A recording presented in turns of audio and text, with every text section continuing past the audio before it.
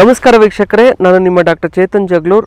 ಇವತ್ತು ನಾನು ಕ್ಯಾಲ್ಶಿಯಂ ಕೊರತೆ ಬಗ್ಗೆ, ಕ್ಯಾಲ್ಶಿಯಂ ಯಾರ್ಯಾರಿಗೆ ಕಮ್ಮಿ ಆಗುತ್ತೆ, ಯಾಕೆ ಕಮ್ಮಿ ಆಗುತ್ತೆ, ಅದರಿಂದ ಏನೇನು ಸಮಸ್ಯೆಗಳಾಗುತ್ತೆ, ಅದಕ್ಕೆ ಏನೇನು ಫುಡ್ ತಗೋಬೇಕು, ಮನೆ ಮದ್ದುಗಳು ತಗೋಬೇಕು, ಅಥವಾ ಮೆಡಿಸಿನ್ಸ್ ತಗೋಬೇಕು ಅನ್ನೋದ್ರ ಬಗ್ಗೆ ಸಂಪೂರ್ಣವಾಗಿರ್ತಕ್ಕಂಥ ಮಾಹಿತಿ ತಿಳಿಸ್ಕೊಡ್ತೀನಿ.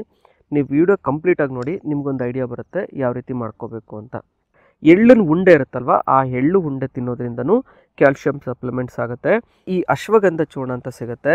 ಅಶ್ವಗಂಧ ಚೂರ್ಣನ ಪೌಡ್ರ್ ಮಾಡಿಕೊಂಡು ಹಾಲಲ್ಲಿ ಹಾಕಿ ಮತ್ತು ತುಪ್ಪದಲ್ಲ, ತುಪ್ಪ ಹಾಕ್ಬಿಟ್ಟು ಮಿಕ್ಸ್ ಮಾಡಿಕೊಂಡು ತಗೊಳ್ಳೋದ್ರಿಂದ ಕೂಡ ಈ ಕ್ಯಾಲ್ಶಿಯಂ ಸಪ್ಲಿಮೆಂಟ್ಸ್ ಆಗುತ್ತೆ.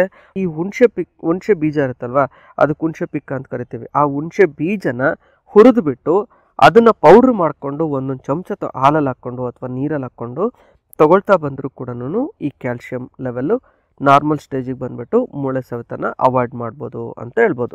ದಿನ ಒಂದ್ ಒಂದ್ ಲೋಟ ಹಾಲು ಕುಡಿಬೇಕು. ನೀವು ಮೊಟ್ಟೆ ತಿಂತಾ ಇರ್ತೀರಾ ಅಂತ ಹೇಳಿದ್ರೆ ಮೊಟ್ಟೆ ಕೂಡ ದಿನ ಒಂದೊಂದು ಮೊಟ್ಟೆ ತಿನ್ನೋದ್ರಿಂದ ಕೂಡ ಈ ಕ್ಯಾಲ್ಶಿಯಂ ರಿಚ್ ಆಗುತ್ತೆ. ಮೂಳೆ ಸವೆತಗಳು ಬರೋದು, ಮಂಡಿ ನೋವು ಬರೋದು ಅವನ್ನೆಲ್ಲವೂ ಅವಾಯ್ಡ್ ಮಾಡ್ಬೋದು ಅಂತ ಹೇಳ್ಬೋದು.